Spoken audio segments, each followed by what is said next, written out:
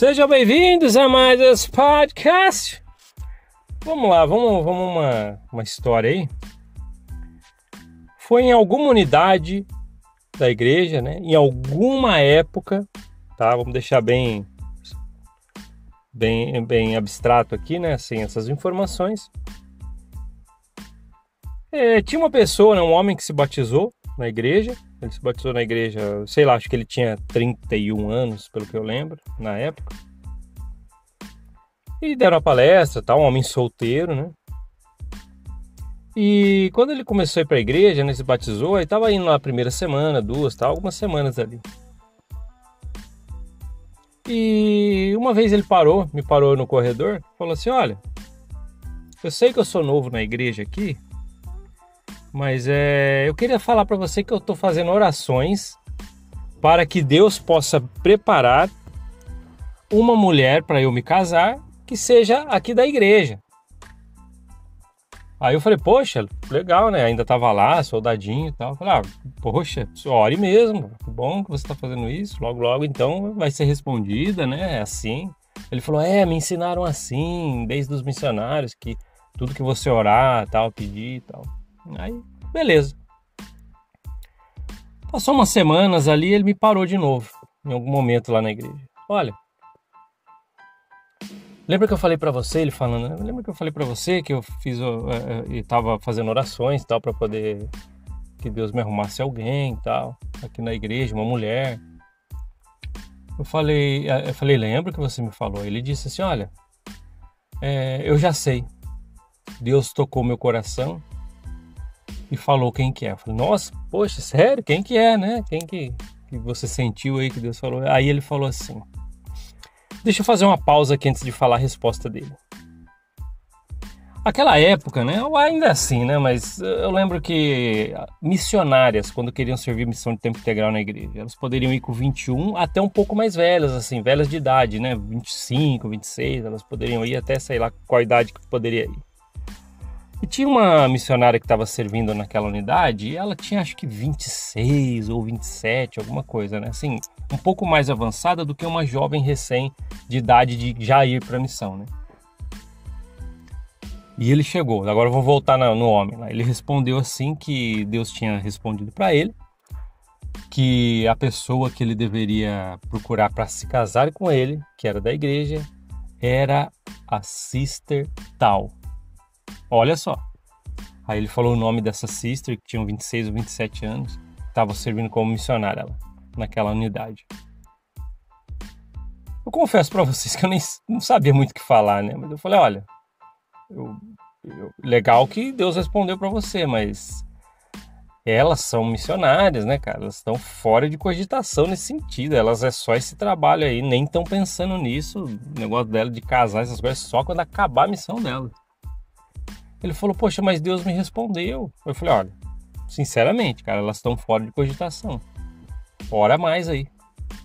Não sei, né? Acho que eu falei algo assim pra ele.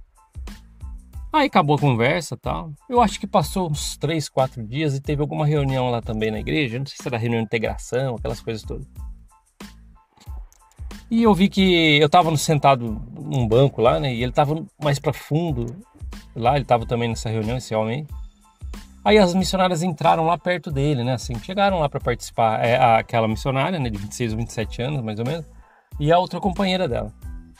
Aí eu olhei para trás e vi elas entrando e vi que ele chamou essa, essa missionária. Eu não sei o que ele perguntou para ela, eu nunca fiquei sabendo nesse momento ou falou para ela, mas deu para entender o seguinte, que ele falou algo assim, ó, preciso falar com você.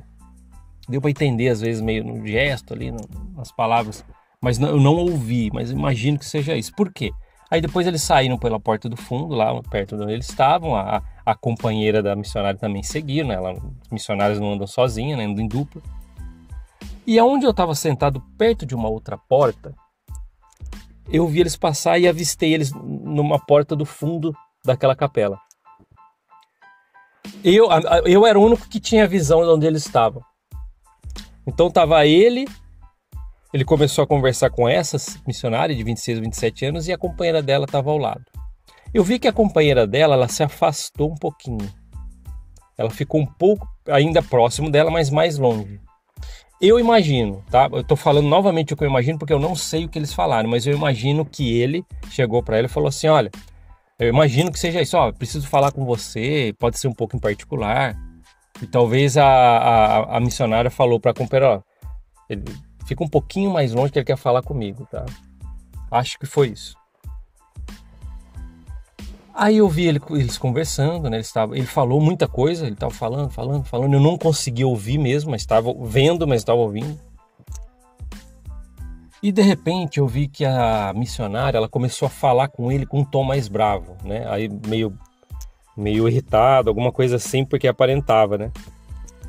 Olha que interessante. Ela começou a falar, sabe quando a pessoa fala brava, mas ainda sem aumentar o volume? Ela começou, e eu não entendia, mas eu vi que ela começou a se alterar. Aí ele falando alguma coisa e de repente a missionária que estava falando com ele, ela deu um tapa no rosto dele. O tapa ele fez barulho porque eu ouvi, mas só eu que estava olhando, porque eu estava numa direção que via pelo vãozinho e tal, de onde eu estava ali. Aí pare, parece, né, pelo que eu vi, a missionária chamou a outra que estava, vem, e eles saem, elas saíram pela aquela porta do fundo que eles estavam mesmo, e elas nem participaram da reunião.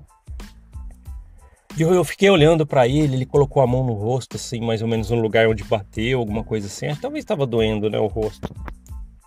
E eu cheguei a pensar assim, vou ali falar com ele? Falei, não. Aí pensei, não, não, deixa, pô, tá num momento ali, não sei o que ele falou, né? Na minha cabeça é lógico, né? Imagino que ele se declarou para ela. Mesmo eu dando aquele conselho, elas estão fora de cogitação, ele acabou acho que se declarando para ela e não, não pegou bem, ela se irritou, não sei como foi as palavras, foram as palavras. Mas aí ele acabou ouvindo, né? Aí ele veio a minha direção, né? Onde eu estava, veio a minha direção, veio andando pelo corredor.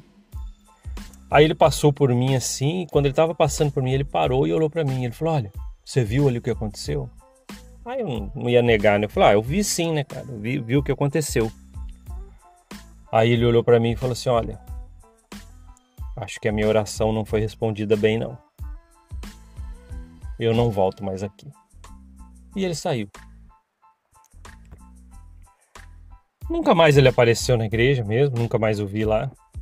Os missionários ainda foram, lógico, lógico os missionários estavam servindo lá, nunca perguntei para missionários sobre isso. Mas aí eu fiquei pensando muito a respeito, né? Era um homem que ensinaram, os missionários ensinaram ele sobre a igreja para ele se batizar, falaram que ele tinha que orar, porque orar é a maneira que você recebe as respostas das coisas que você deseja ou precisa. Ele usou isso como ferramenta para uma coisa que ele achou legal, que era procurar alguém para casar com a mesma fé dele, né? E ele fez uma oração de acordo com o que ensinaram, e ele supostamente recebeu a oração. Ele sentiu que recebeu a oração de procurar uma pessoa da igreja e acabou vindo aquela missionária na cabeça, né? Que é aquela que ele havia escolhido, sei lá, alguma coisa assim, que acabou vindo na, na resposta. Aí ele foi agir de acordo com a resposta que ele recebeu e mesmo dando essa essa eu dando essa instrução para ele naquela naquele momento que ele havia me perguntado, falei, olha, eles não fazem isso, não namoram, né? Mas ele acabou, acho que querendo seguir o que ele respondeu, recebeu de resposta na oração. E aí? Aí fica a questão, né? várias questões. Não, na verdade, essa história, eu, nem sei o, o, o, que o teor dela, como mensagem para passar aqui para quem está ouvindo o podcast. Mas eu achei legal, pensei nessa história hoje. Falei, poxa, eu vou contar, né? Mas o que, que vocês acham? Ele seguiu o que falaram para ele. E aí? Ora, recebe a resposta e ali vai fundo. Né? É, muita, é, é, muita coisa ali que eu acho que, que dá pra gente analisar, né? Eu queria deixar com vocês. Se você já está no YouTube, comenta o que, que, você achou dessa história, o que, que você acha que dá para tirar daí. Se você está no Apple Podcast, Google Podcast Spotify, já sempre vai no, no, no Instagram do Normal mandar mensagem, manda lá. O que, que você acha também?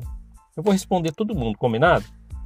Porque eu acho interessante. É uma história interessante que faz a gente pensar, não que tem uma mensagem específica para passar com ela, mas eu acho que tem muita coisa para a gente falar sobre isso. Ou melhor, muita coisa para a gente tirar para sei lá, para ficar colocando as ideias para funcionar, porque tem, tem muita coisa aí é, é, que eu acho que dá para a gente tirar mesmo de verdade para pensar a respeito. Combinado? Então deixe seu comentário. Eu achei legal compartilhar com vocês essa, essa inusitada história. Obrigado por ouvir esse podcast. A gente se vê na próxima. Até mais. Tchau, tchau.